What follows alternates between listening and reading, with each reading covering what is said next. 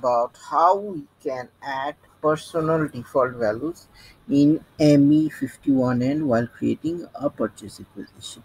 So here, if you see, SAP by standard gives all these default values which you can populate. Okay, so there are stuffs on the on the item styles and all those things. So what you can do is generally always the requisitioner field is generally populated. So here I'll just put deep.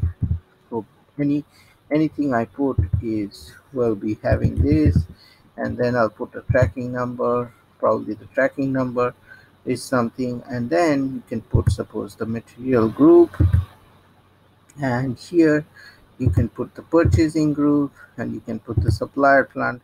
So every time you create the you create the plant or you create the you create the purchase requisition it's more or less 90% of the time the value is the same. So here suppose for the plant it's suppose i'll just pick a plant okay? So what i'll do is just do 2009 and the material group i'll just pick one here.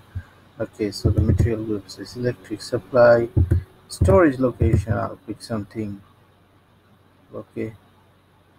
And the, most of the times I pick the account assignment as this asset cost center okay and the supplying plant also I pick suppose something related to 3002 this is generally settings that I always follow okay while creating a PDEC so imagine when I used to create a PDEC without all these values and the value I had to enter.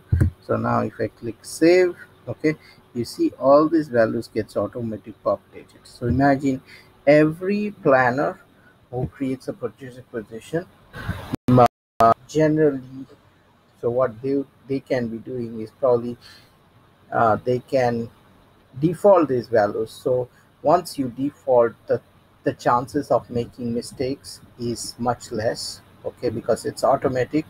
And you don't have to you don't have to find out oh what should be the plant and all those things. When things there is there is chaos when you every time you have to enter the same repetitive information you know and it's boring and it's it's time consuming you know. So those things you don't have to do. You can just put your default value here and you can do see if you click on default values you can select more fields and all those things. Uh, so this is these are very useful stuff that you can use.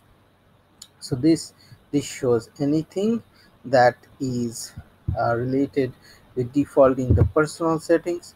Now here you might see sometimes you see there is the plant and the storage location. It's not showing the num the number actual number. So if you want to see the actual number you can just click on display key and save it.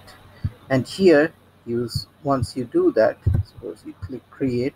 Now and here now you see the plant and the storage location shows up now if you don't want to see that you want to see the description you just click on display okay?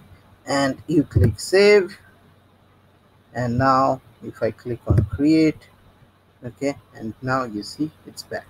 So this is very useful and these are some weapons that SAP has given by standard.